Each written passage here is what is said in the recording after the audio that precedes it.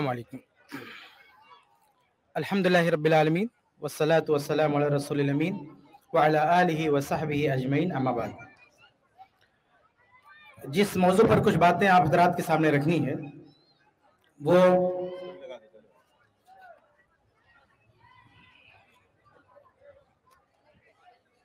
जिस मौजू पर कुछ बातें आप हजरात के सामने रखनी है, वो इस्लाम का कानून विरासत है। कुछ मोटी मोटी बातें आपके सामने रखने की कोशिश करूँगा।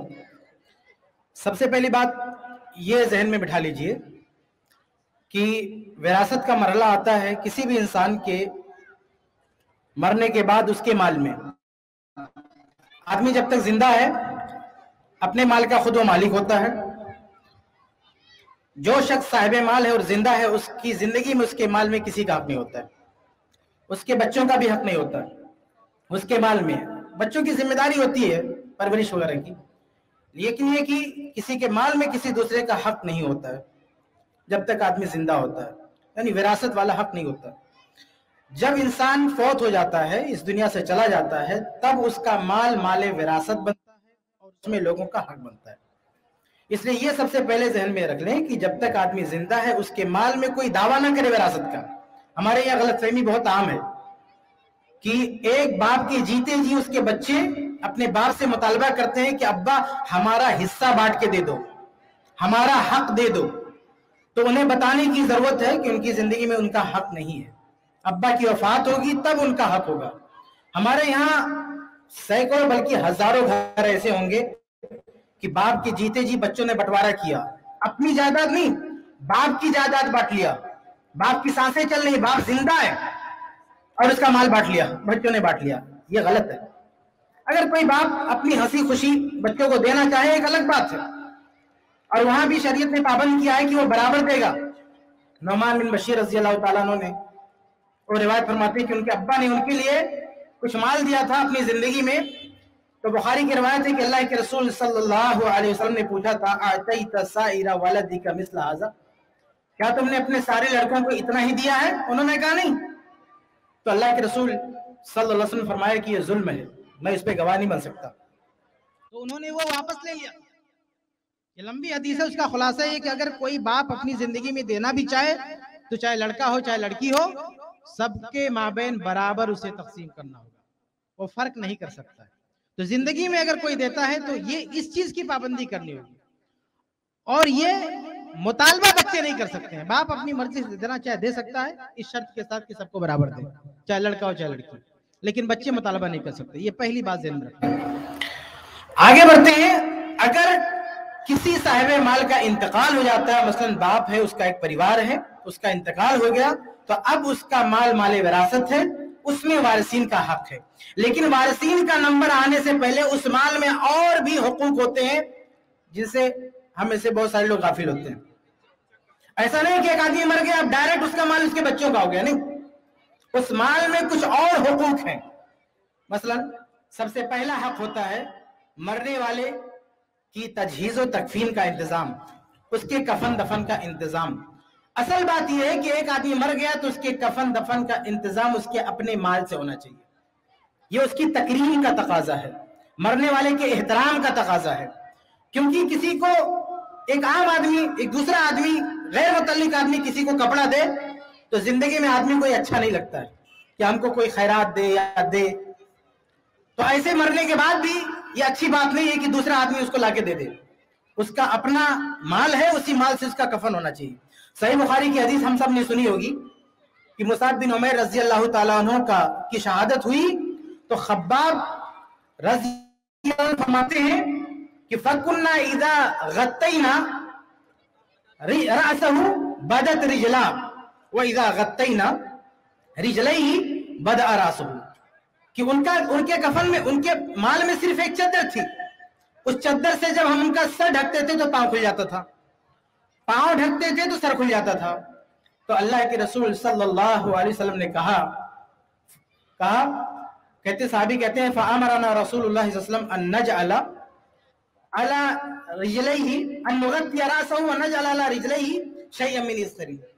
नबी ने फरमाया कि इनका सर ढांक ढांक दो और पाँव की तरफ़ जो कपड़ा कम पड़ रहा है वहाँ पे इस फिर घास डाल दो अब जरा इस हदीस पे गौर कीजिए कि इतने अजीम सहाबी हैं वो भी शहीद हो गए उनको कफन देने के लिए एक कपड़ा कम पड़ रहा था लेकिन किसी और ने उसका इंतज़ाम नहीं किया पाँव की तरफ़ घास डाल दी गई, लेकिन अलग से उनको कफन नहीं दिया गया। इसके पीछे एक हिकमत यह भी है कि जितना कपड़ा था, उसमें उनका इंतज़ाम हो सकता था। अलग से किसी और को इंतज़ाम करने की ज़रूरत नहीं थी। हालाँकि मालदार साहब कराम थे अब्दुलरहमान बिन औफ रज़ी ज़िंदा थे, उस्मान रज़ी अल्लाह थे। खुद अल्लाह के रसूल वसल्लम कर सकते थे, लेकिन किसी ने नहीं किया। उनकी खुददारी का एहतराम करते हुए। कि इनके कपड़े में ये, अपने कपड़े में अल्लाह के पास जा सकते हैं, खैरात का कफन देने की ज़रूरत नहीं है। तो पहला जो खर्च होता है, पहला जो हक होता है विरासत में, कि जो मरने वाला है, उसका कफन दफन उसके अपने माल से हो। उसके बाद दूसरा हक होता है कर्ज। अगर मरने वाले ने अपनी ज़िंदगी में किसी से कर्ज लिया है तो पहले उसे अदा किया जाए, उसके बाद वारसीन का नंबर आता है। लेकिन हमारे यहाँ कर्जे वगैरह की कोई फ़िक्र नहीं होती है। सबसे पहले बाढ़ के लोग ले लेते हैं।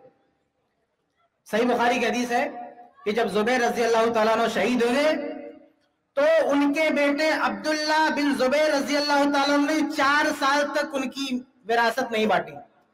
वो हज के मौके पे ऐलान करते रहे कि मेरे अब्बा ने किसी से लिया हो कर्जा तो आओ ले लो। ऐसा ना हो कि हम बांट दें और किसी का कर्ज अदा ना हो। नॉर्मल जनरली होता यह था कि जैसे किसी की वफात होती थी, साहबा के दौर में भी माल बढ़ जाता था। विरासत की तकसीम डिले नहीं की जाती थी। लेकिन जुबैर रज़ी अल्लाह अशर मुबशरा में थे, बड़े नेक थे, बड़े अमानतदार थे। लोग इनके पास अपनी अमानतें ला ला के रखते थे। तो जुबैर रज़ी फरमाते थे कि देखो, मैं अमानतों की हिफाजत करने में हो सकता है, कोई चूक हो जाए, इसलिए अमानत देना तो अमानत मत दो। हाँ उसको कर्ज में कन्वर्ट करके दे दो। अगर कोई चीज़ देनी है तो कर्ज बना के दे दो, बाद में मैं अपने हिसाब से वापस कर दूँगा। अमानत करके दोगे तो भाई उसकी हिफाजत करना बड़ा मुश्किल है। तो इसलिए उनके पास कर्ज बहुत ज़्यादा हो गया था। उसको लौटाने के लिए अब्दुल्ला बिन जुबैर रज़ी ने चार साल का की ताखीर की, ये सही बुखारी की रवायत है, ताकि एक एक का कर्जा अदा हो जाए, चार साल के बाद वारसीन में बांटा। तो ये दूसरी चीज़ है कि वारसीन तक वरासत जाने से पहले जो जिनसे कर्जा लिया गया है, मैयत ने कर्ज लिया है, उनका माल लौटाना चाहिए, चाहे वो माल वहीं पर खत्म हो जाए, चाहे वारसीन के लिए कुछ ना बचे। आगे बढ़े इसके बाद भी वारसिन का नंबर नहीं आएगा। इसके बाद एक तीसरा हक है वसीयत। अगर मरने वाले ने अपनी ज़िंदगी में वसीयत की है तो वसीयत की अदायगी होगी, उसके बाद वारसिन का नंबर आएगा। और वसीयत के बारे में दो चीज़ें समझ लीजिए। पहली बात तो ये कि कोई भी शख्स, कोई भी मरने वाला अपनी औलाद के लिए वसीयत नहीं कर सकता। सुना नबी दाऊद की मशहूर रवायत है। अल्लाह के रसूल सल्लल्लाहु फरमाते हैं इन अल्लाह आता कुल हक़िन फला वसीयत वारिस कि अल्लाह ताला ने मरने वाले के वारिसिन का हक बता दिया किसका कितना है। इसलिए जब अल्लाह ने बता दिया है तो अब मरने वाला अपने वारिस के लिए कोई वसीयत नहीं कर सकता।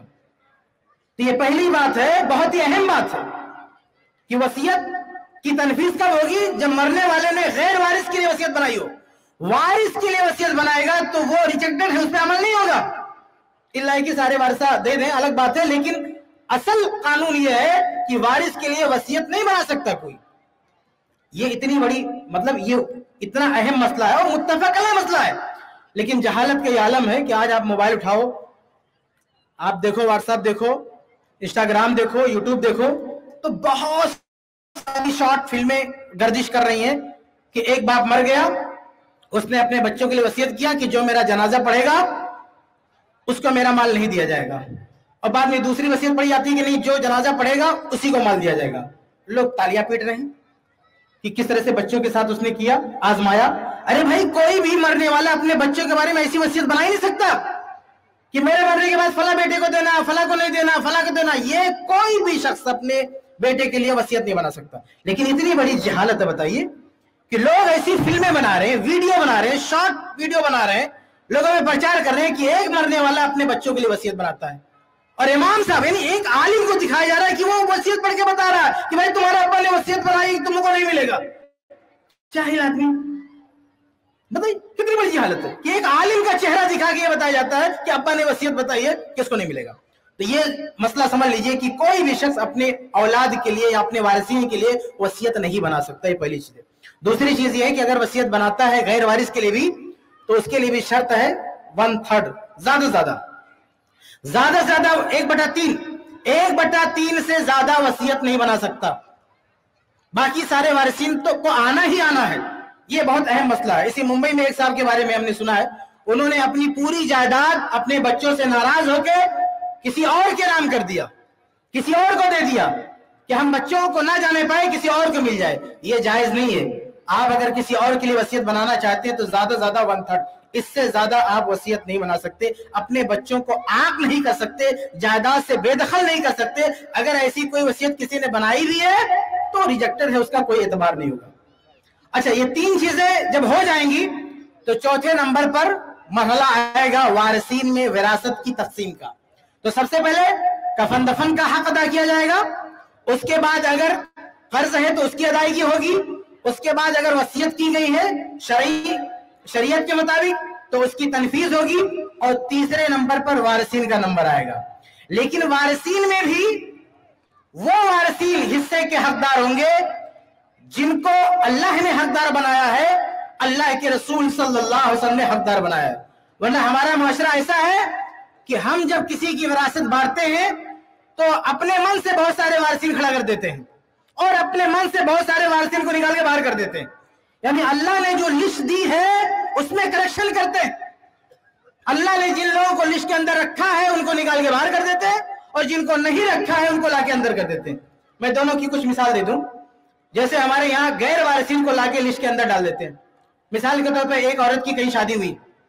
शौहर मर गया, या तलाक दिया, या खुला लिया इसने, और उस शौहर से इसके बच्चे थे, ये बच्चे लेकर अपने मैके आ गई। फिर इसने कुछ दिन के बाद दूसरी शादी किया। दूसरा शोहर हुआ इसको। अब ये बच्चों के साथ उसी दूसरे शोहर के पास पहुँच गई। ये दूसरा भी मर गया तो अब इसकी जायदाद जब बढ़ती है तो इस दूसरे शोहर के जो, अब जो अपना खून है, खूनी औलाद है, उसको तो मिलती है साथ में ये औरत जो कहीं और से बच्चे ले उसको भी हिस्सा दिलवा देती है। ये गलत है। दूसरे के बच्चों का यहाँ पे हक नहीं है, उनके जो अपने बाप है वहाँ पर हक है। तो ये क्या हुआ कि लिस्ट के अंदर हमने वारसीन में ऐसे लोगों को डाल दिया जिनको अल्लाह ने नहीं डाला था। ये एक मिसाल है। एक और मिसाल देखें। कुछ लोग कुछ बच्चों को गोद ले लेते हैं। किसी और के बच्चे को अपना बच्चा बना लेते हैं। ये एक अलग मसला है। वो जायज़ है, नाजायज। लेकिन ऐसा हमारे समाज में बहुत होता है। किसी की बच्ची गोद ले लिया, किसी का लड़का गोद ले लिया। अब लेने के बाद उसको वारसीन की लिस्ट में भी डाल देते हैं। यानी मरने के बाद वो शख्स भी वरासत का दावा कर लेता है और उसको दिया जाता है।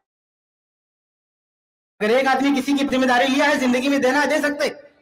दे सकता, वसीयत भी बना सकता, ज़्यादा से ज़्यादा वन थर्ड लेकिन विरासत में उसका हक नहीं है। ये दूसरी मिसाल है। जो वारसीन में लाके उन्होंने वारसीन में डाल दिया। एक तीसरी मिसाल है कि कुछ लड़के और लड़कियाँ शादी से पहले नाजायज ताल्लुक कायम कर लेते हैं, उसके नतीजे में लड़की बच्चे की माँ बन जाती है। हमला हो जाती है, बाद में दोनों शादी करते हैं। अब बच्चा जो पैदा होता है, वो नाजायज बच्चा है। वो हराम का बच्चा है। ये बच्चा अपने इस बाप का जिसका खून है, उसका वारिस नहीं होगा। हदीस बहुत क्लियर है। नसब साबित नहीं होगा। विरासत का लिंग सिर्फ़ तीन वजह से होता है। निकाह, नसब वाला ये तीनों वजह से कोई नहीं है।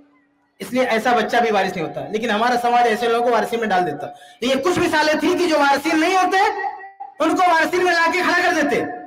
और इसके बिल्कुल बरक्स जो वारसीन में होते, उनको निकाल के बाहर कर देते। जैसे एक आदमी मरता है तो उसके वारसीन में अगर उसकी माँ ज़िंदा है तो वो भी है। लेकिन माँ का कोई ख्याल नहीं रखता। माँ मतलब बच्चों की दादी, मरने वाली की माँ, मरने वाली की बीवी नहीं, मरने वाली की माँ, दादी। अगर वो ज़िंदा है और मरने वाले की माँ मौजूद नहीं है। अब मरने वाले की माँ, यानी बच्चों की दादी, अगर वो ज़िंदा है तो उसका भी हक होता है।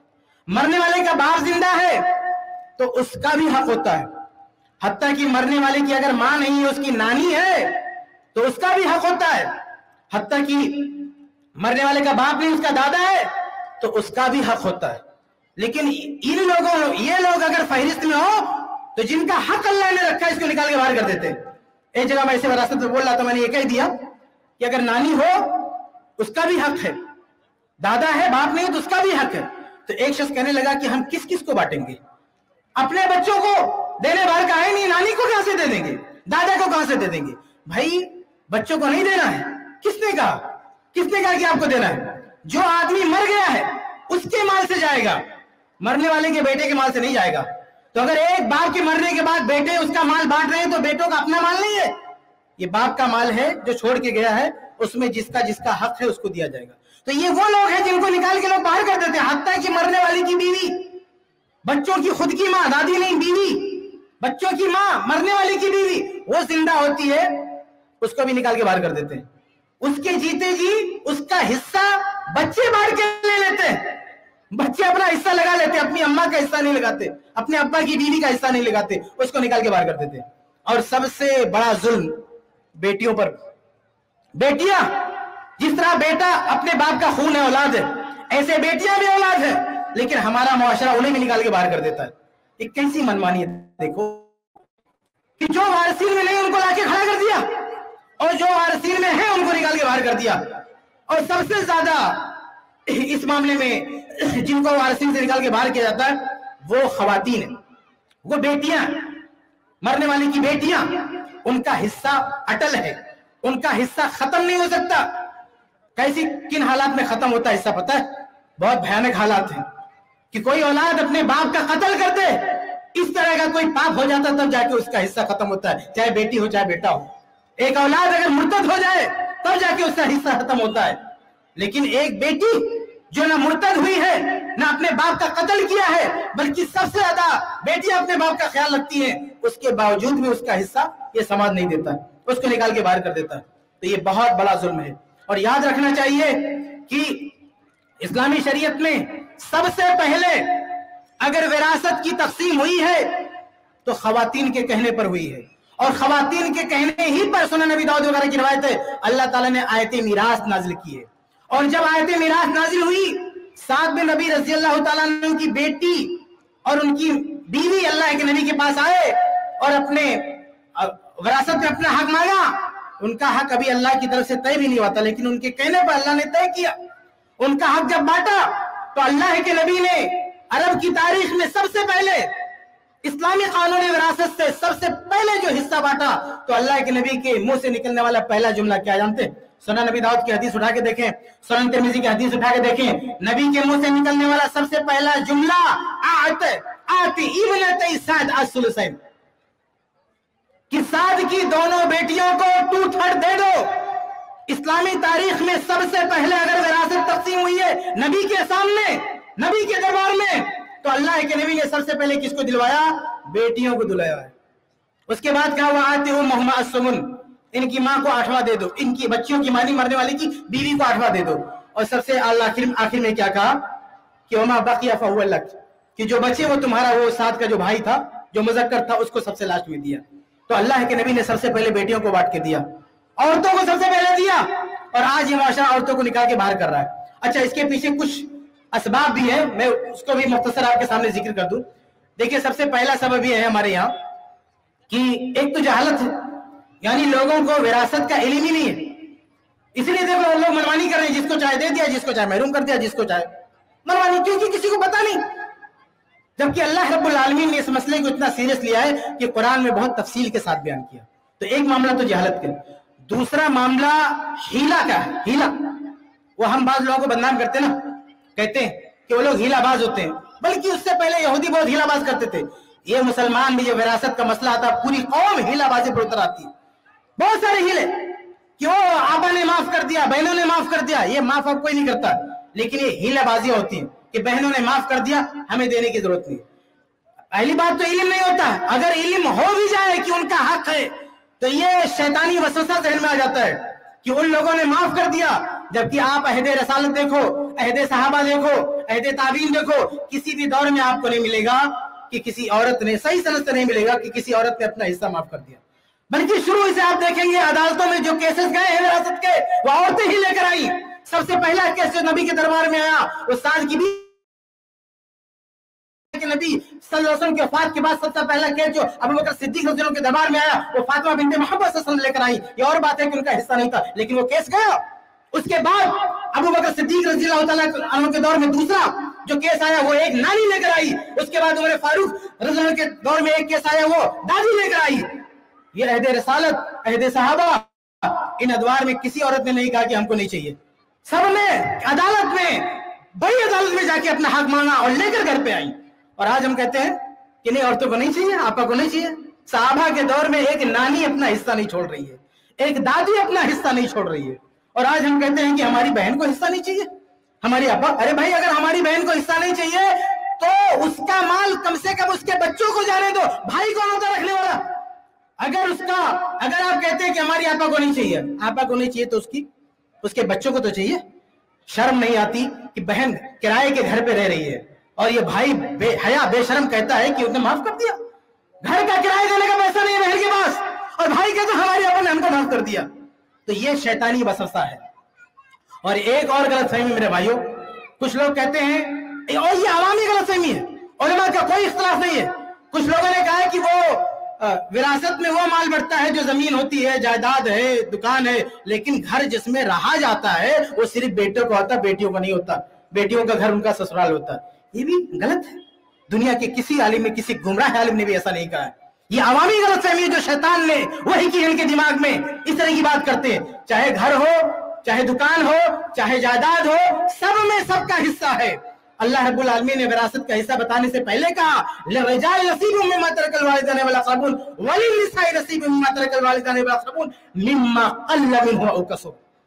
कि छोड़े हुए मयत के माल में जैसे मर्दों का हिस्सा है, ऐसे औरतों का। मिम्मा कल्ल मिनहु औ छोड़ी हुई जायदाद, चाहे कम हो, चाहे ज़्यादा हो। अल्लाह ने कह दिया, कम हो, चाहे ज़्यादा हो। कोई साहब कहते हैं कि, ले देखिए, एक ही घर है। अगर ये भी हम दे दें अपनी आपा को तो हम कहा हैं जरा सोचो। अगर मामला ऐसा हो कि किसी मरने वाले की बेटियाँ ना हो, उसके सिर्फ़ तीन बेटे हो। एक बेटा दुबई में हो, एक बेटा अमेरिका में हो, बहुत मालदार हो। और एक बेटा इंडिया में हो जो बहुत गरीब है झोपड़े में रह रहा हो, जो बाप का बनाया हुआ झोपड़ा है। अगर बाप मर गया, वो दुबई वाला, अमेरिका वाला बेटा आके खड़ा हो गया तो क्या भैया, ये अब्बा का घर है, हमारा हिस्सा दो। तो क्या बेटा ये बोलेगा कि भैया, अगर तुम्हें हिस्सा दे दो, मैं तो रोड पे आ जाऊँगा। नहीं नहीं, वो झोपड़ा बिक जाएगा। वो झोपड़ा बेच के इन करोड़पति भाइयों को हिस्सा देगा वो। लेकिन ये नहीं बोलेगा कि मैं रोड पे आ जाऊँगा। लेकिन अगर आपा आगे बोलती है, भैया, हमारा हिस्सा दे दो तो क्या बोलता, मैं रोड पे आ जाऊँ? मैं कहा जाऊँ? वो झोपड़ा क्या हवेली में नहीं बेचेगा वो? लेकिन भाई का लेना हुआ तो झोपड़ा बिक जाएगा वो।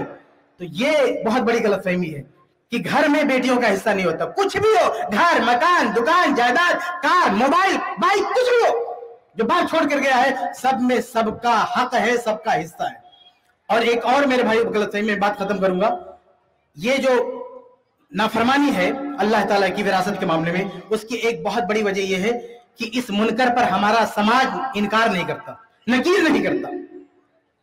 यानी उसको गलत नहीं समझता। कितने लोग सवाल करते हैं, बड़े मतलब मुत्तकी परहेजगार बन के, कि फला आदमी सूद खाता है, उसके घर दावत खा सकता हूँ। फला आदमी हराम का कारोबार करता है, उसकी शादी में जा सकता हूँ। लेकिन कोई आदमी खड़ा होकर नहीं सवाल करता, आज तक मेरी ज़िंदगी में किसी ने सवाल नहीं किया, ना मुझसे, ना किसी और से, कि फला आदमी ने अपनी बहन का हिस्सा खा के रखा है बोली साहब उसके यहाँ दावत खा सकता हूँ। उसकी बहन की शादी में जा सकता हूँ। नहीं, लोगों ने इसको गुनाह समझना ही बंद कर दिया है। कोई सूद खाता है, गुनाह है। कोई चोरी करता है, इसे गुनाह माना जाता है। लेकिन कोई अपनी बहन का हड़प लेता है, उसको गुनाह माना ही नहीं जाता है। हैरत की बात है कि इस रमज़ान का महीना आने वाला है। बहुत बड़े बड़े सेठ, पैसे वाले, ऐसे उलमा की लाइन लगा के चंदा बांटेंगे। आओ, एक लाख रुपया ले जाओ, दो लाख रुपया ले जाओ। और अपनी बहन का हिस्सा खा के बैठा हुआ है। बेशरम। अपनी बहन का लूट के बैठा हुआ। और खैरात बांट रहा, जक़ात दे रहा। पहले वो कर्ज अदा कर जो तेरे कंधे पर पड़ा हुआ है। पहले जो गसब किया, उसको अदा कर, उसके बाद किसी को खैरात बांटना। इतनी बड़ी जहालत है, बताइए। इतनी बड़ी नादानी है। ये किस वजह से हो रहा है? इसलिए कि उलमा ने बोला नहीं। वही खड़े होकर बोलना चाहिए, बात करना चाहिए कि अगर अपनी बहन को हिस्सा नहीं दिया, ये जक़ात वगैरह बाद में करना, पहले अपनी बहन को हिस्सा दे। अगर ये लोग बोलना शुरू करते, बताना शुरू कर दे तो हालात बदलेंगे। हम इनकार मुनकर नहीं करते। दस हज़ार की मोबाइल कोई चोरी कर लिया, पीट पीट के मारते उसको। लेकिन एक लाख अभी बहन का हड़प कर लिया, कोई उंगली नहीं लगाता उसको। ये हमारा समाज है। तो ये भी एक वजह है कि अल्लाह के कानून पर अमल नहीं हो रहा। मैं बात खत्म करूँगा मेरे भाई ये कहकर कि अल्लाह हरबुल आलमी ने इसका अजाब भी रखा है। इस दुनिया में भी और आखिरत में भी। ऐसा नहीं है कि ऐसा हम नहीं करेंगे तो हमारा नुकसान नहीं होगा। सुनन इब्न माजा की रवायत अल्लाह ने फरमाते हैं, मा मिन ज़म्बिन अज़दर अन युअज्जिल अल्लाह। लिसाहिबिही उक़ूबत फ़ी दुनिया। मा मा यदखुलु फिल आखिरह कि कोई भी गुनाह ऐसा नहीं है जिसकी सजा अल्लाह ताला इसे दुनिया में लाजिमी तौर पर दे डाले, सिवाय दो गुनाहों के। जो है मिसल बाकी वक़तियत रहम। जुल्म और रिश्तेदारी को काटना। ये दो पाप ऐसा है कि जो करेगा इसी दुनिया में उसकी सजा मिलेगी, ये और बात है कि सजा को पहचान न सके। अल्लाह की लाठी में आवाज़ नहीं होती। अल्लाह की लाठी पड़ती तो बोलती नहीं कि तेरे किस पाप की सजा हो। आदमी पिटता रहता समझ नहीं पाता। तो दो का गुनाह अगर कोई करेगा तो दुनिया में पिटेगा किसी न किसी शक्ल में। रिश्तेदारी काटा हो, जुल्म किया हो। और जो अपनी बहन का हिस्सा खाता है, वो दोनों पाप एक साथ कर रहा होता। पूरा पैकेज गुनाहों का दोनों पैकेज साथ में लिया होता। है रिश्तेदारी को भी नहीं निभाया बहन का रिश्ता नहीं निभाया। और उस पर जुल्म भी किया हुआ। है उसका क्या हाल होगा? दुखी नहीं रहेगा तो क्या होगा उसका? ये तो दुनिया का मामला है। और मरने के बाद क्यामत के दिन जब अल्लाह की अदालत में खड़े होंगे देना पड़ेगा, मामला खत्म नहीं होगा। और वहाँ कोई बहन ये नहीं कहेगी कि भैया, ले जाओ। आज तुम कहते हो ना कि बहन ने हिस्सा माफ़ कर दिया, वहाँ देखना बहन तुमको नेकी देती कि नहीं? छीन लेगी तुम्हारी नेकियाँ। अपनी नेकियाँ, नमाज़, रोजा जगह सब उसको देना पड़ेगा। और आखिरी बात कुरान मजीद की आज में उसी पर बात खत्म कर, करके आपसे रुखसत होता हूँ। अल्लाह रब्बुल आलमीन ने जब विरासत के अहकाम बतलाए तो आखिर में बड़ी खतरनाक वार्निंग है। अगर कोई अमल करेगा तो जन्नत की बशारत और आगे का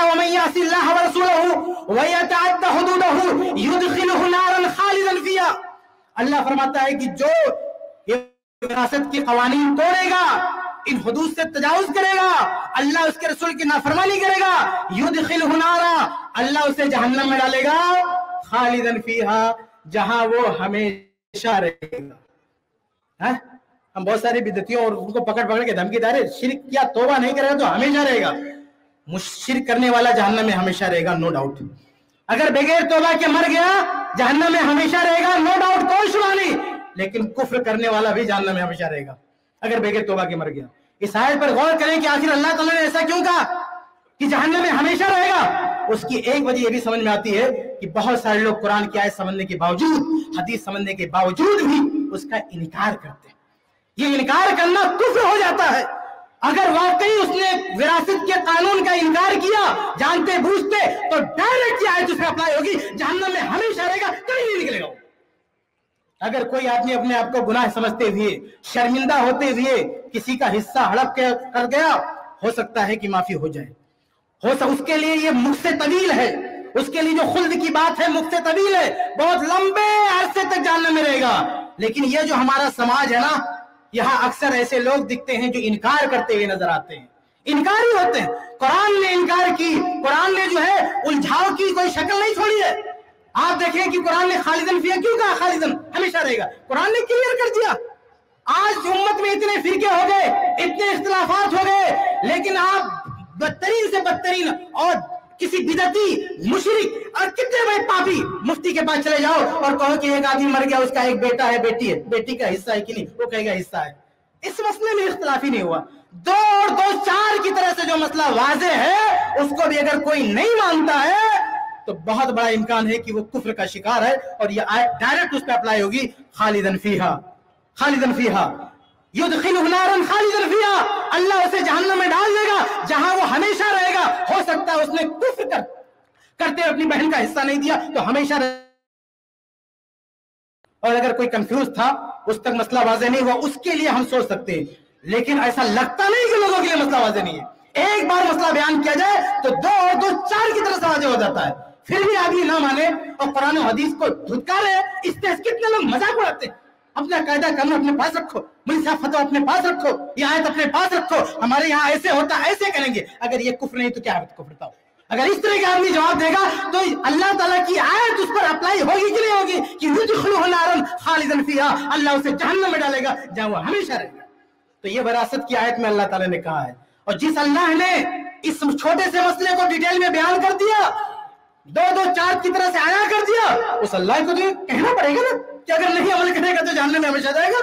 क्योंकि कुफर के अलावा क्या रास्ता है? बहुत कम चांसेस है कि आदमी कंफ्यूज हो। तो बहरहाल ये चंद बातें थी। विरासत के ताल्लुक से जो आपके सामने मैंने रखी अल्लाह से दुआ अल्लाह ताला हम सबको ये बातें समझने की तौफीक दे, उस पर अमल करने की तौफीक दे। आमीन ऐसे ही और वीडियोस बनाने में हमारी मदद करें।